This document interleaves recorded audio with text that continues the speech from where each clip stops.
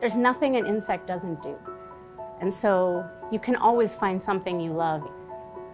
Insects are, you know, the canary in the coal mine. So many things depend on insects. You know, they're really at the bottom of many, many food chains, right?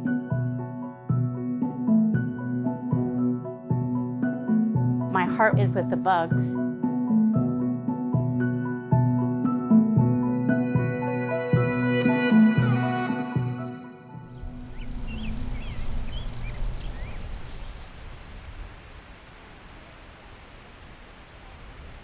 A fanny pack is is a good way to keep your butterflies close at hand. We have flat uh, spade-like forceps for collecting butterflies so we can hold their wings. And we do a very, very high-tech Band-Aid box.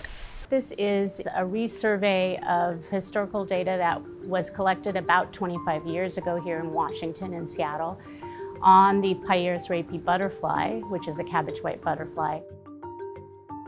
What we're looking at as a team is looking at how this particular butterfly has responded to climate change.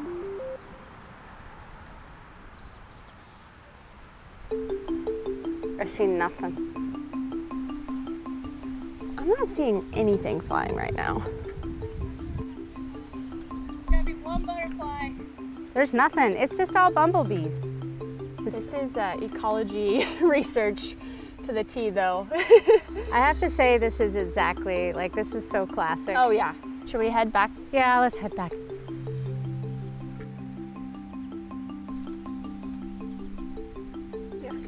Yeah, that's a cabbage white. We get it. We gotta get it. Cabbage white, come on, Taylor. Let's do it. Our one butterfly. It's a female too. I'm not gonna move very much.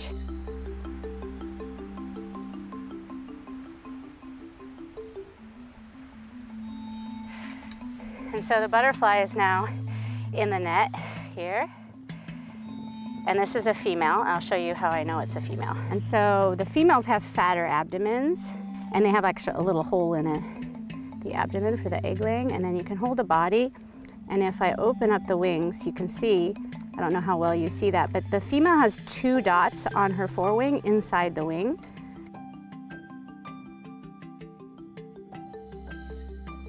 And that's it.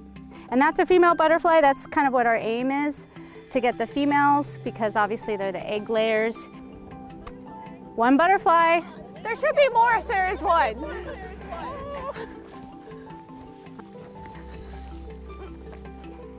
Did you get it? No, it's running your way. Did you get it? Yep. Woohoo! Yay. Let's see what they are. Nice work, Taylor. That's two butterflies.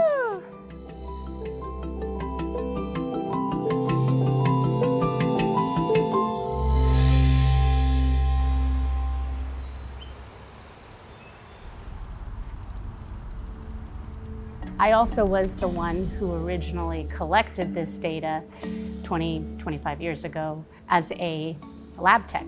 And now we're repeating that project again to see if we see any changes associated with climate change. It helps us understand evomechanics, like how things change and evolve as temperature changes, as climate changes.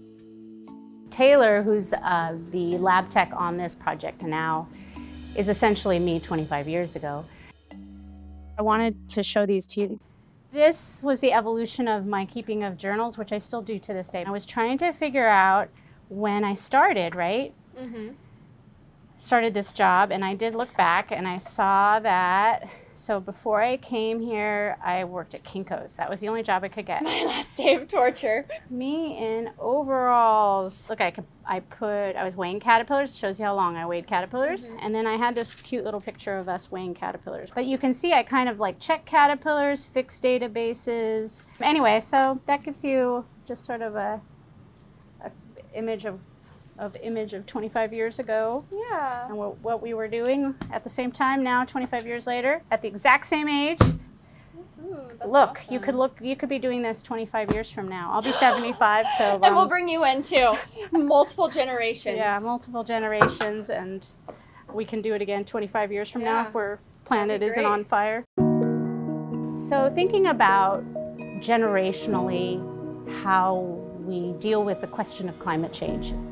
Unfortunately, a huge amount of the burden, in my personal opinion, lies on the next generation on what's going to happen. I think that we see by a lot of the research that's been published in the last, even just this year, that's looked at massive losses of populations in the insect world. And if that doesn't scare the hell out of you, I don't know what will. So we can look at a very specific response to changes in temperature. And it will help us make some predictions about how other organisms might do the same thing. And so I would not be surprised if this specific butterfly has been able to shift. It may give us some sense of what organisms have the ability to respond to environmental changes. Some organisms may be better than others.